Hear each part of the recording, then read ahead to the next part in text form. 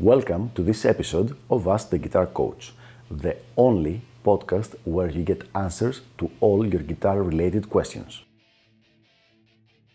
If you're interested in developing your guitar skills and reaching your music goals, please send me an email at the email address ioannis at ioannis.org. That is I O A N N I S at I O A N N I S.org so that I can let you know about all the different packages of elite guitar coaching and how you can get private coaching by me. Without further ado, let's go to our question for the day. When composing music, are our choices limited to major and minor scales, or can the modes also be considered their own scales?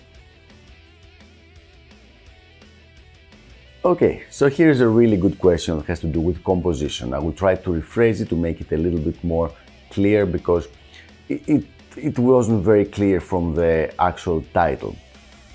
So when we are composing a new song, a new composition, are we limited to only choosing as a key center and as a key the major and minor scales? Or can we also use the different modes?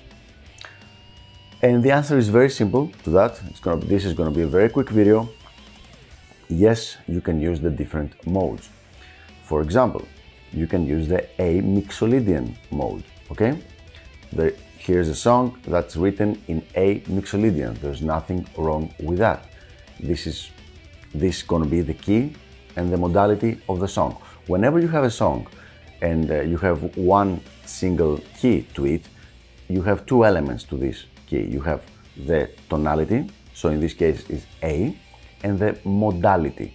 The modality in this case is Mixolydian.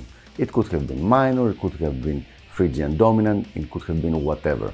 But as long as you have both, you know what you're doing with a specific song. So a key, a, song would be in the key of A Mixolydian.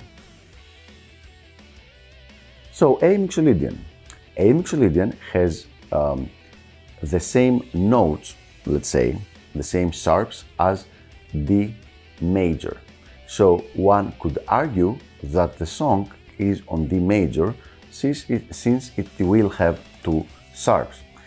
And it's true, but it's kind of like pointless to think of it as D major because this misses the point both on the tonality, since the key of the song is not D, it is A, and the modality, since the sound of the song is not major but it's Mixolydian.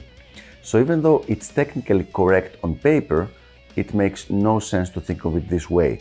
Like for example, I would play totally different from a so over a song that is on A Mixolydian, because I would be thinking A and I would have the Mixolydian sound in my head, than I would play over a song that's on D major, where I would think D and then I would have go for a major sound, for example, for a major pentatonic sound. So to wrap this up and not make it more complicated than it needs to be, yes, you can use the modes as a way to describe the tonality and the modality of a song. As we gave in a previous example, a song is perfectly fine if it is written in A Mixolydian or in A Lydian, A Phrygian or whatever else. Any tonality. It can be F sharp, it can be D, it can be A, and any mode. So there you have it. I hope this was helpful and it clarified a little bit this like theoretical problem. And I will see you on the next episode of Ask the Guitar Coach. Until then, keep sending me your questions and I'll do my best to answer them in a future video.